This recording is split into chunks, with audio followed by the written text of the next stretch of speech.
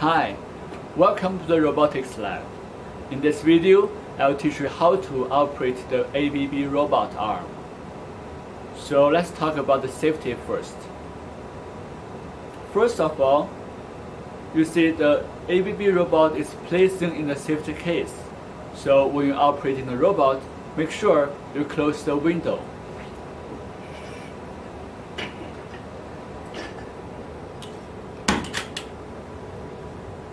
And second one is the e-stop button. This is a touch panel which can control the robot. And there's a red button here.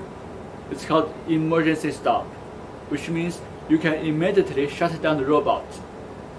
When something happens, just hit this emergency stop immediately like this. Then the robot will shut down. Another button is called Deadman switch, which also can save your life. This is Deadman switch. When you control the robot, you can use your left arm and put your hand here and then operating the arm. And this button is called Deadman switch.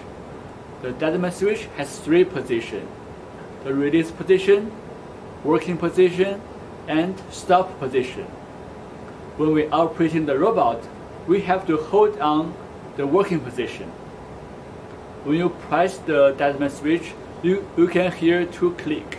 The first one is called working position. And the second one is called stop position. The robot is only working when we hold on the working position. If you release or if you press harder, the robot never move.